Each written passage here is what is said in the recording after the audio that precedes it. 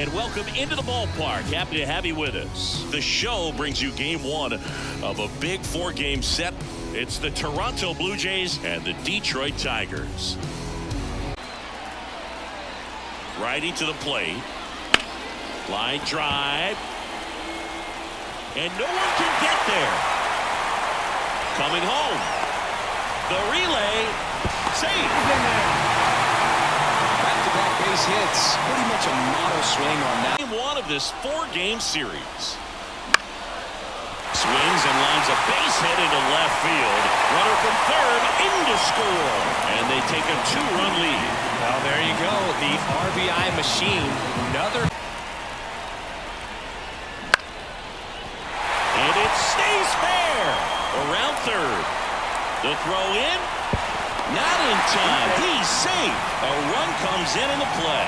Went up there looking to be aggressive and got something he could handle. In the air, right field. Sizing this one up. And he makes the catch. Runner tags from third. He's in on the sac fly, and they're up by four. Maybe caught that one off the end just a little bit. Couldn't quite barrel it up enough to really drive it. Now a screamer into the outfield. And that'll do it.